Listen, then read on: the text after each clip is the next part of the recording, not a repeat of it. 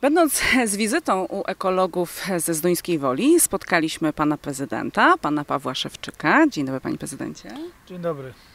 E, I postanowiliśmy pana prezydenta troszeczkę e, przepytać z ekologii, ekologii miasta. E, Panie prezydencie, w jaki sposób miasto dba o segregację śmieci? To przede wszystkim wypełniamy wszystkie obowiązki ustawowe związane z selekcją.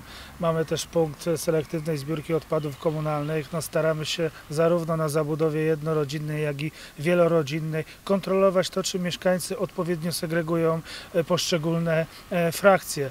E, Także robimy szereg różnego rodzaju akcji uświadamiających, zarówno w szkołach podstawowych, jak i w tym wypadku również akcje są prowadzone przez Starostwo Powiatowe w szkołach średnich, bo od tych najmłodszych lat trzeba uczyć odpowiednich postaw. Odpowiednia selekcja odpadów, odpowiednie ich segregowanie jest klucz do tego, abyśmy mogli szczególnie te odpady również dobrze przetwarzać, bo o tym trzeba też pamiętać, że ilość odpadów jest z roku na rok coraz większa. W Zduńskiej Woli również obserwujemy, że produkcja śmieci przez mieszkańców z roku na rok jest wyższa.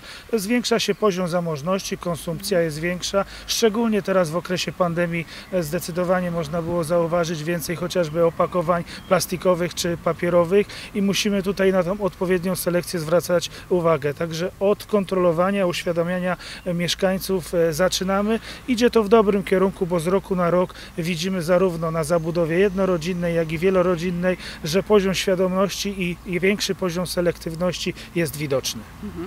A czy jeszcze jakieś inne działania ekologiczne na terenie miasta są widoczne? No przede wszystkim e, działamy bardzo prężnie, jeżeli chodzi o jakość powietrza. Jesteśmy miastem, które od wielu, wielu lat zmaga się ze smogiem. Przyjęliśmy dwa lata temu program e, e, długofalowy wymiany węglowych źródeł ogrzewania. Dajemy bezzwrotne dopłaty mieszkańcom, aby mogły te kopciuchy, które są największą przyczyną smogu w mieście likwidować i to też przynosi efekt. Chociażby w tym roku miasto zniknęło z niechlubnej listy najbardziej zanieczyszczonych miast w całej Unii Europejskiej. Także ta długofalowa praca przynosi pierwsze efekty.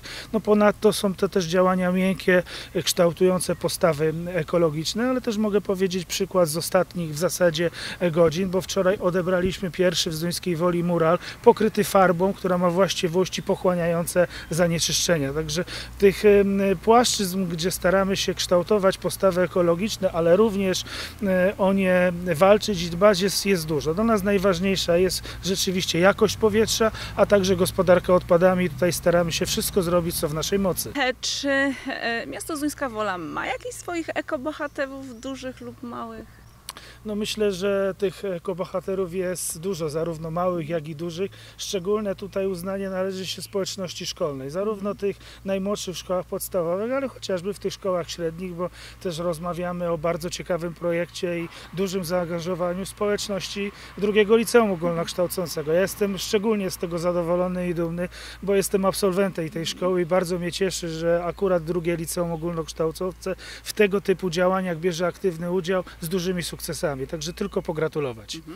E, A czy w takim wypadku mogę poprosić e, pana prezydenta, e, żeby trzymał kciuki za ekobohaterów, żeby to oni właśnie zostali tymi głównymi, jedynymi w całej Polsce?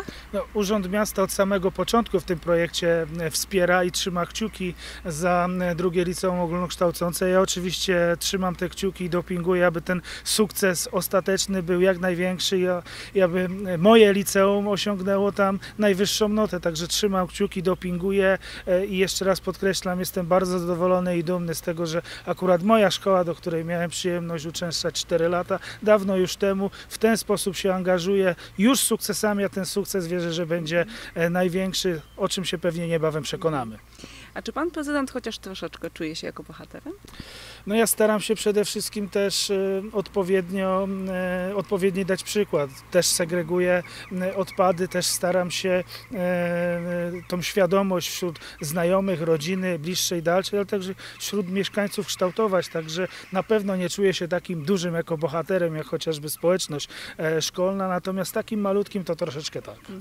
No gratulujemy jeszcze raz e, miastu Zduńska Wola e, od miasta najbardziej zanieczyszczonego. Teraz z nowymi, innowacyjnymi e, pomysłami dotyczącymi chociażby związanymi z muralem. Także gratulujemy jeszcze raz bardzo, bardzo serdecznie. No i dziękujemy bardzo za poświęcony czas. Życzymy powodzenia. Dziękuję bardzo.